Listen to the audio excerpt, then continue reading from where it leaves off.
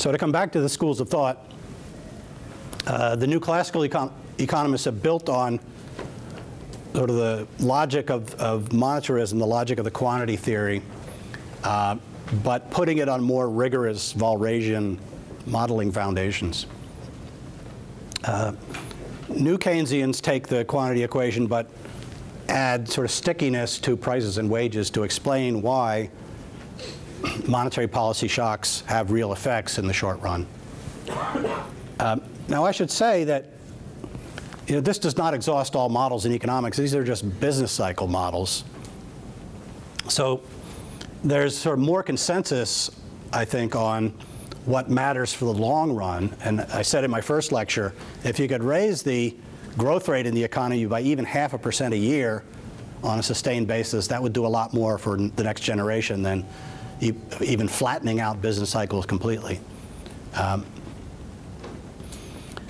and then there's a sort of synthesis going on in the profession between new classical and new Keynesian models known as dynamic stochastic general equilibrium models.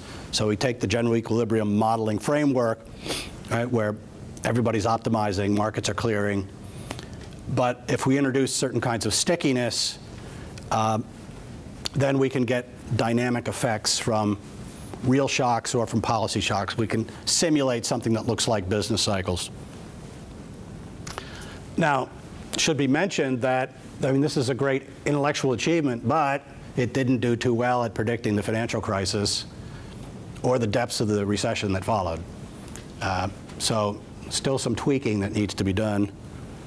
Um, whereas people who are taking the Wicksellian approach uh, were, were sounding warnings that we've hold, we're holding interest rates too low for too long. We've got a bubble building up in real estate.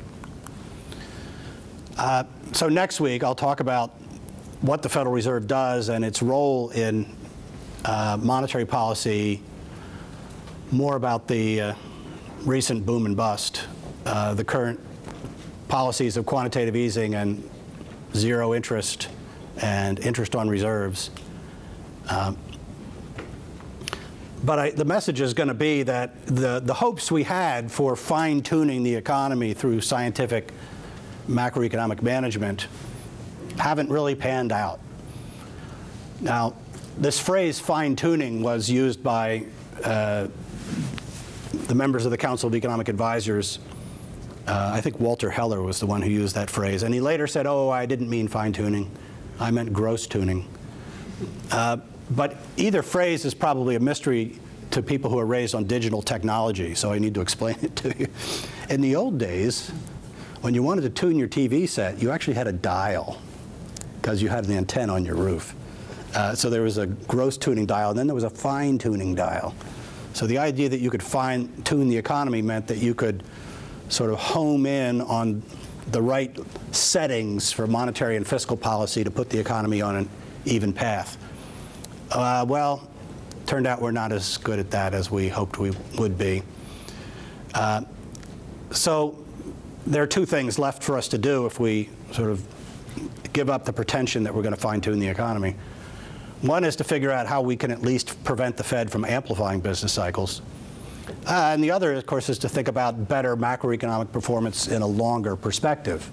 Right? How can we promote a healthy rate of economic growth, not try to stimulate or goose the economy or boost output in, in some temporary way, but what kind of policies matter for capital formation and for technological innovation, which are the two drivers of long-run growth.